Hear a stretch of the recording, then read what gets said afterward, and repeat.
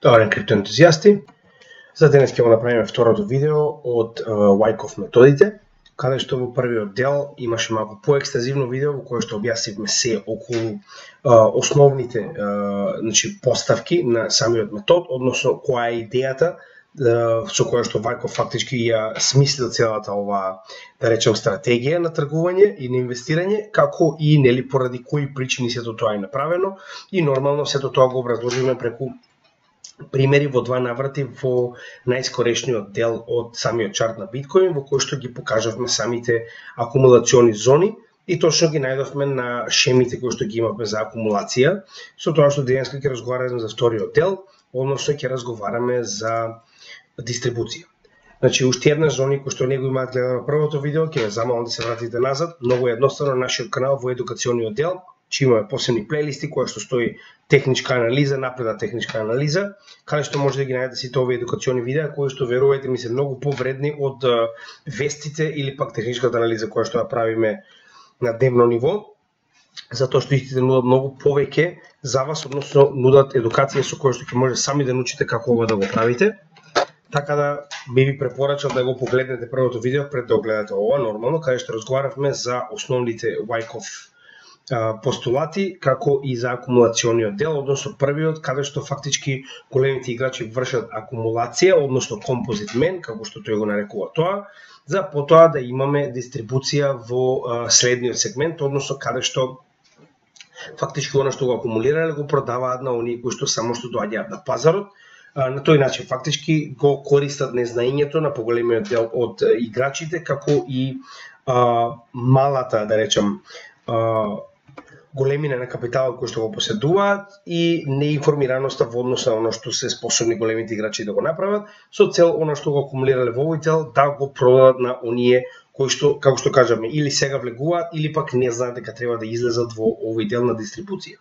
Е сега, А, денеска, значи, ние веќе разговаравме за сето ова, па ти кажам, погледнете назад, сето ова е објаснето, поминавме преку целиот овој дел Денеска одиме директно на дистрибутивните шеми, кои што исто така основните две шеми, како акумулација, така и дистрибуција се две.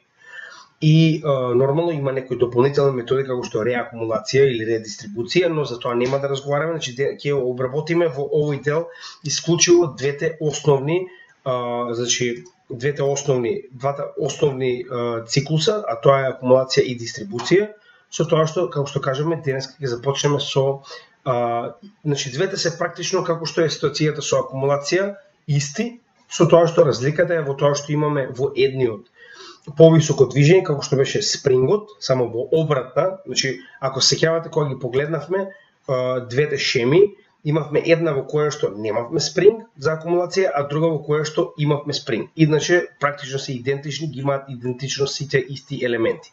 Сега замислете кога би го поставиле ова обратно, би ги добиле овие две шеми во која што имаме една во која што имаме спринг, своевидно, ќе кажеме што е во оваа ситуација, и друга во која што немаме спринг.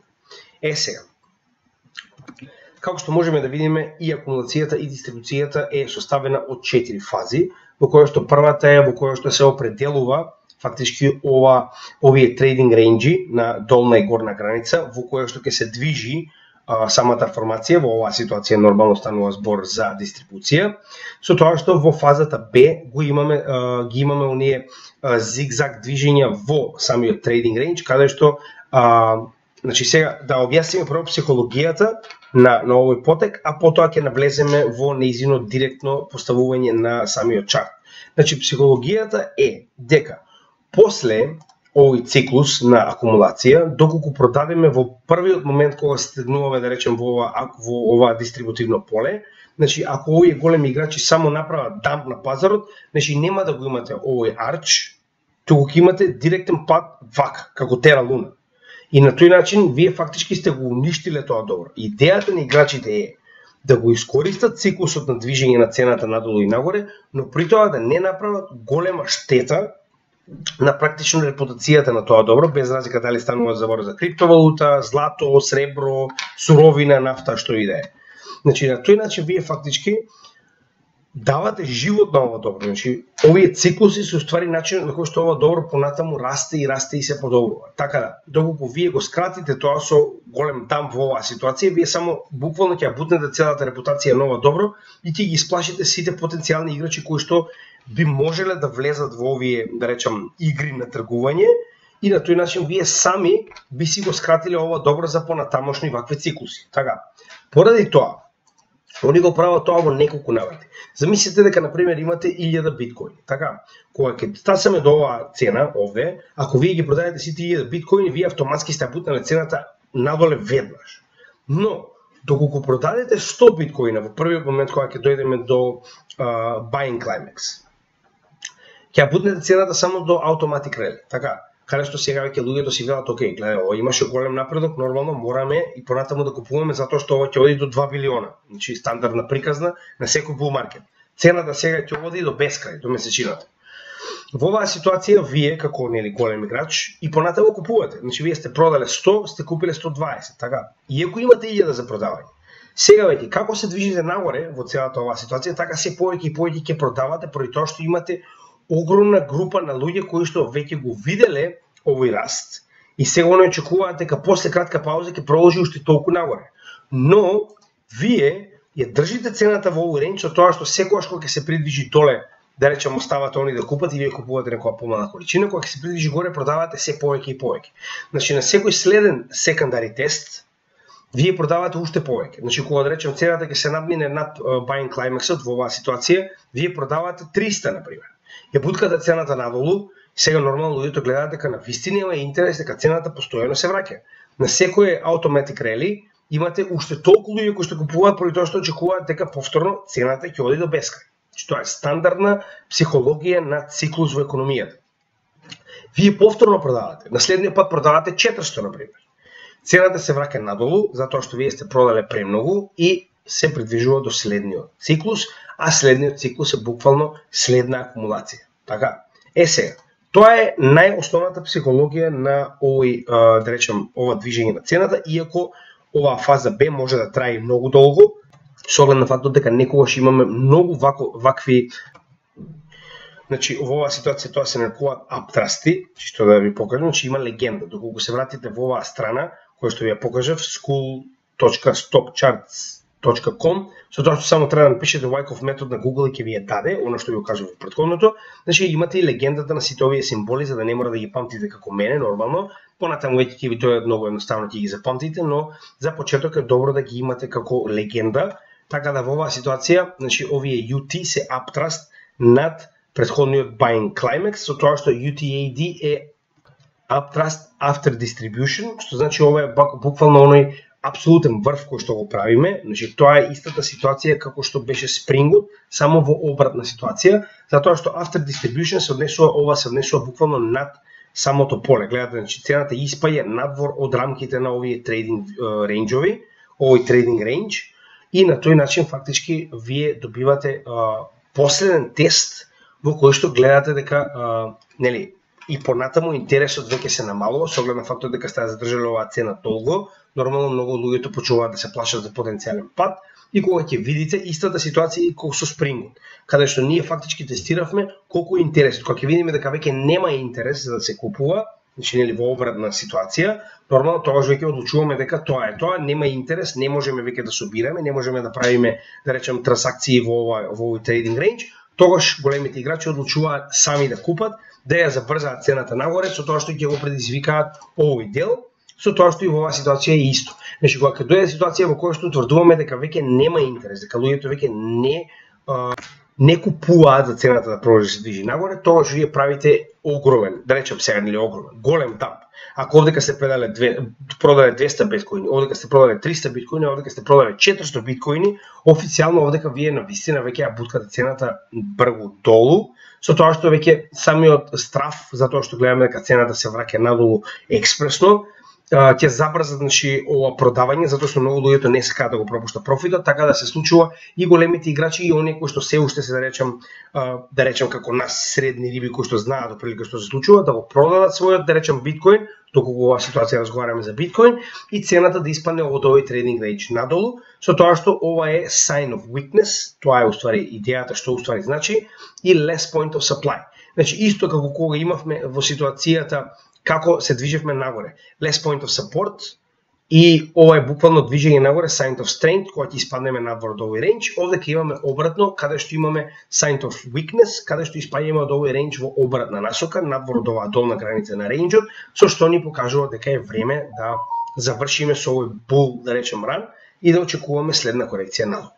Значи, тоа е основата како функционира психолошки овој, овој дистрибутивен дел на Вајков Со тоа што е многу битно да бидете свесни и да го следите, затоа што кога го пропуштите, голема веројатност е дека ќе бидете еден од оние кои што останале да ги држат торбите со коини, кога сите го земале профитот или пак влезе влегле премногу касно на пазарот, што е основната психолошка психолошки двигател на економскиот циклус, затоа што така се прават пари. Значи, знаете сами дека економските е, трансакции, посебно тргувањето е zero sum game што значи дека на крајот од денот нема ново направени пари, туку тоа е само трансакција на пари од оние кои што не знаат кај се наоѓаат, но оние кои што, кои што точно знаат каде се наоѓаат. Затоа разликата е во едукацијата. Кога вие точно знаете во кој цикл се наоѓате, знаете дека треба да купите или да продадете. Оние што не знаат, доаѓаат, ставаат пари на пазарот, не знаејќи каде се наоѓаат и истите ги губат, остануваат да имаат коини кои што во моментот се со многу помала вредност. Значи тоа е едноставниот циклус така функционира, така ќе продолжи да функционира. Поентата е бидете на правилната страна, односно бидете едуцирани. Е сега, ова е а, првиот бран на биткоин кој што достигна до 64.000 во 2021 година на последниот bull маркет. Значи, и првиот и вториот бран се класичен пример за а, значи за дистрибуција а, во Wyckoff методот и сега тоа ќе го покажам. Значи, PSY е point of supply, што значи дека на сите овие е, движења нагоре, нормално, големите играчи и понатаму купуваат на секоја корекција. Така? Значи, затоа и се вели point of supply, значи ова се буквално а, корекции, ниту една цена не оди само нагоре, нели освен на Dogecoin која ќе пише Elon Musk, останатите за жал со корекции, значи нели така треба да биде. Така да на секоја оваа корекција, да речеме, они купуваат за понатаму да го придвижат движењето на цената нагоре, додека не стасаме до овој рейндж, каде што конечно ќе почнат да продаваат.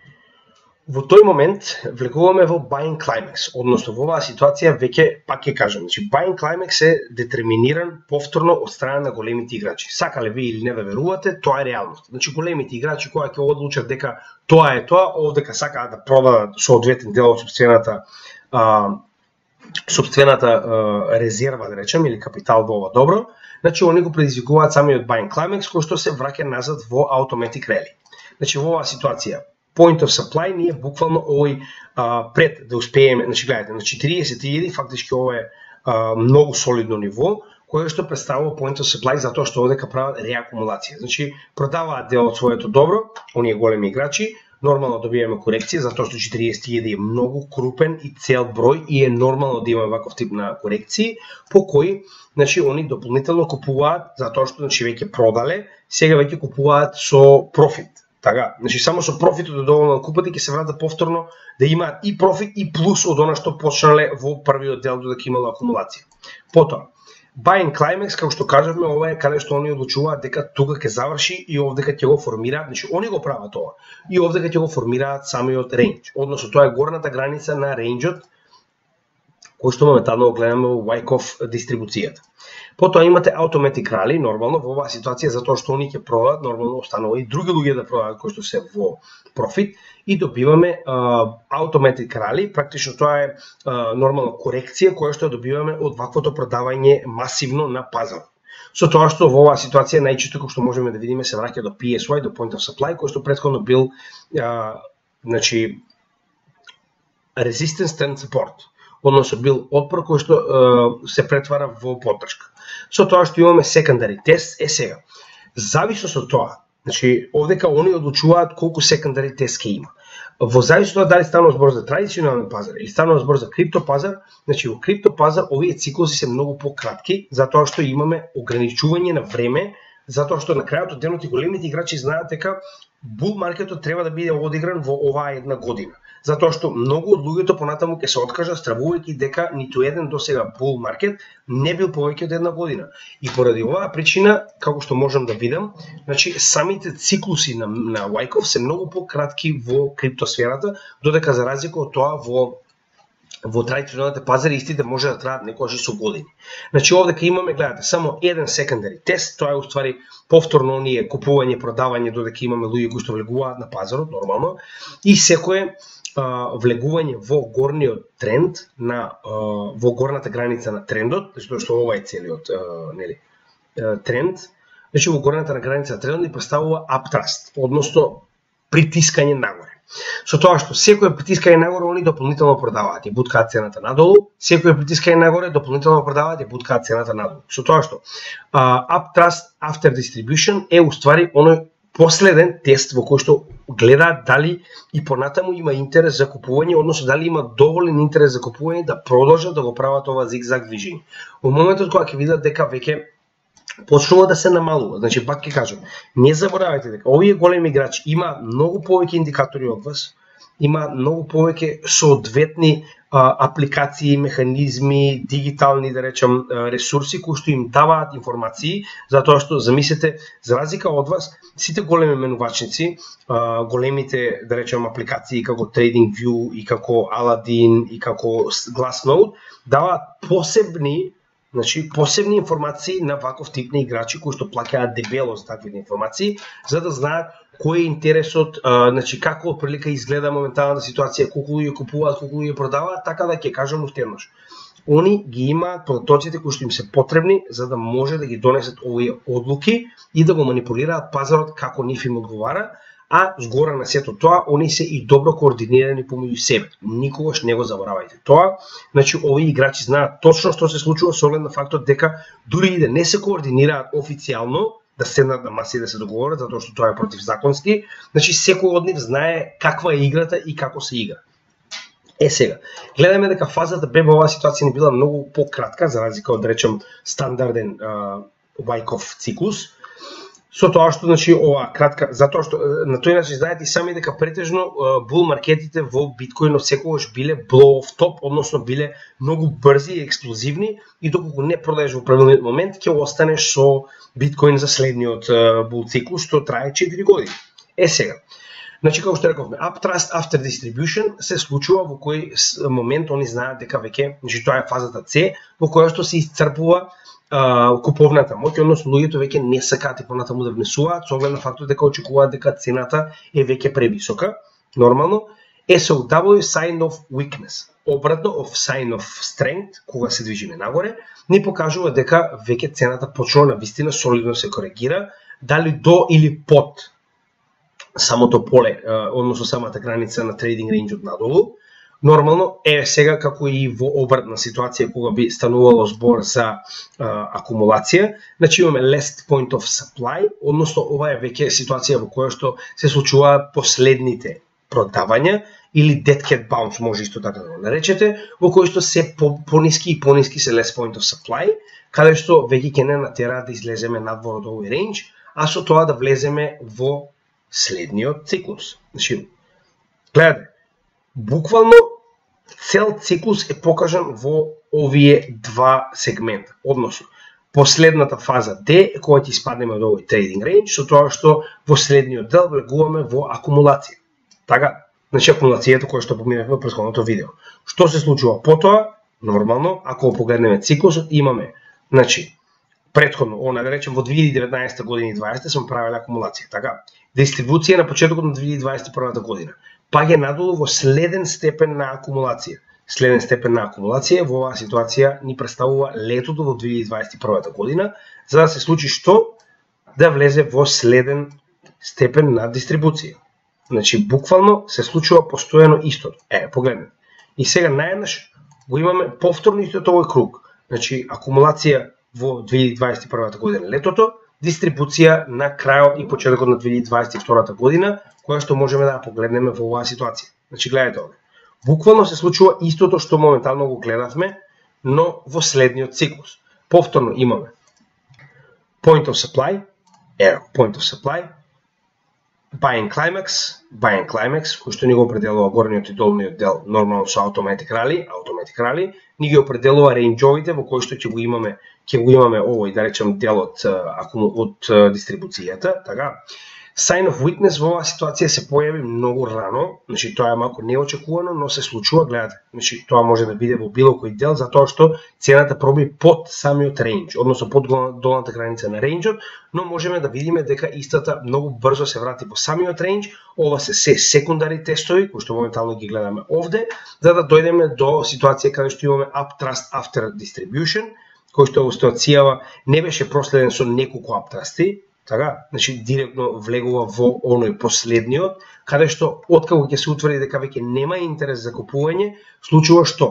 Dead cat bounce, less point of supply, неколку пати се додека следниот sign of weakness не ни покажува дека имаме излез надвор од овој uh, trading range, негов ретест, што е нормално, постојано го добиваме исто така што може да видите и придвижување надолу во следниот дел, а следниот дел повторно ни представува е ова, каде што моментално се наоѓаме повторно почеток, односно се наоѓаме во акумулативната зона, каде што моментално го ги минеме сите овие стапки повторно. Така. Значи гледате колку едноставно е. Ги имате постојано, значи ево моментално се наоѓаме на издола, каде што го го минеме повторно овој почеток. Значи ова е буквално овој дел. Така. Со тоа што јас го имам направено на друг чарт, нормално затоа што овдека ми е поедноставно да го направам тоа за да можеме да го да го образложиме соодветно на нашите гледачи. Значи, гледајте, ако погледнете, значи, гледајте, многу едноставно. Буквално се повторува постојано. Дистрибуција, акумулација, дистрибуција. Повторно имаме акумулација, без разлика дали постојано, значи може би гледате во оваа ситуација акумулацијата е многу подлабоко, за разлика од оваа. Така, затоа што сме влезени во целосен bull market, Значи, гледате, овие циклуси не се како што е и самиот циклус на биткоин, не значи дека истите ќе бидат 4 годишни, нормално, како што може да видите овде. Но ги има. И гледате дека се буквално како некој да ги препишал од оваа шема на моменталната ситуација, значи не е моменталната, ова е последниот bull top, Така, да претходниот all time high. Со тоа што да не заборавиме дека некогаш се случува да имаме и ситуации во кои што наместо првата шема во која што имаме uptrust after distribution, да се случи тоа да го немаме И ова најчесто се случува кога немаме доволно интерес за понатамошно купување на ова добро, во зависи тоа што тргуваме нормално, и влегуваме во следниот степен на пат пред акумулација со неколку less point of supply. Ако се сеќавате, истото го објаснивме и за е, во оваа ситуација, значи втората Wyckoff шема, во која што наместо да имаме spring, имаме само less point of support во неколку наврати, пред да излеземе надвор од овој рейндж со uh, sign of strength. Така, тоа е разликата помеѓу овие две, како што можеме да видиме. И на тој начин можеме да го видиме ова директно на самите чартови, значи гледате дека е многу реално кога ќе може да го најдете. Значи, а, ништо од ова не е практично ако само ви го покажам на шема. Секогаш мораме тоа да го најдеме на чартот за да може да видите како изгледа, за да може да видите како се определува и на тој начин да видите дека на вистина функционира. Тоа е најглавниот дел од сите овие видеа да видите дека се тоа што ние го правиме од техничка и фундаментална анализа на вистина функционира. Не за джаве овие луѓе, значи самиот Вајков, потребни му биле неколку декади за да го утврде ваквиот начин на движење на големите играчи и нивниот начин на дистрибуција и акумулација кога се наоѓаат во овие ренџови. Значи неколку декади, не заборавајте, ова е а, целата животна работа на еден човек за да успее да го утврди ова како вистинска а, значи постоечка и постојано а, репетативна да речам шема, формација која што користат големите играчи и гледате дека тоа не се променило. Значи ова го нашол во претходниот век, значи од 1930 до 1900 како беше само да видам точно кога живеа. Значи гледате дека големите играчи е 1800, извинете, 1873 до 1934, така. Значи онова го нашол буквално два века наназад практично. Со тоа што пак ќе кажам, Значи, големите играчи немаат потреба да менуваат нешто што постојано функционира. Ако и понатаму функционира, нема логика да го менуваш. А гледаме дека функционира. Луѓето уште не научиле. Значи, се наоѓаат нови генерации кои што се раѓаат и се враќаат во истиот овој циклус, во истите овие шеми, но ништо не промениле. Они не успеале да го пробијат тоа затоа што ден денеска се уште функционира. И гледаме дека големите играчи тоа го користат против нас и е паметно да се едуцираме со цел кога веќе не можеме да се бориме против нив во однос на ваквите циклуси, да им се придружиме, односно да ги копираме работите кои што они ги прават со цел да се наоѓаме на правилната страна на профитот на крајот од денот. А целта на нашиот канал е да успееме, значи пак ќе кажам, успешноста на мојот канал е мерам во однос на тоа дали барем еден од македонците ќе успееме да го направиме целосно финансиски независен преку криптовалути до крајот на следниот бул маркет. Така да ако успееме тоа да го направиме, тоа значи дека нашиот канал ја завршил својата работа успешно. Ако успеал, тоа значи дека било кој друг ќе може да успее користејќи и овие едукациони да речем информации и содржини кои што ги правиме на нашиот канал. Така да уште еднаш благодарам на сите кои што ги гледаат нашите видеа, посебно од екипата од Веле што ми е направи вечер за вчера, значи секоја чест Добро, извинете, мислев дека е пабот, ете бил Тарантино, не знаев дека Тарантино го, го уклучил и сам го отворил одново, така да извинете што ја морам вака да ги поздравам, но нели, тоа се мојата гарда таму назад дома, во Велес, кај ги миджиите, така да ви благодарам уште еднаш што ми го направивте денот вчера. Значи, мене многу ми значи, иако ти кажам на крајот од денот, немаме никаква финансиска или профитабилна корист од нашиот канал, имаме со оглед на фактот дека на некој начин јас се осеќам должен на оние дома, кои што се помалку срекни или не успеале поради некоја причина, да им дадеме шанса поради нивната блокада во јазикот, која што за жал е постојана и многу луѓе ја имаат, да можат да се приклучат на остатокот од светот кога станува збор за криптосферата. Така да ви благодарам уште една за поддршката, како што кажав, се додека оваа заедница работи со нас, ние ќе работиме со самата заедница, ќе пробаме да изградиме силна заедница во Македонија, која што ќе биде во солиден профит во следниот бул market преку ваков тип на едукација и преку меѓусебно разменување на информации, кое што до сега сум многу задоволен од оно што го гледам. Така да ви благодарам уште еднаш, се надевам дека ќе продолжиме така и понатаму. Имајте добар ден и се гледаме во следното видео. Поздрав од Крипто Гемиджио.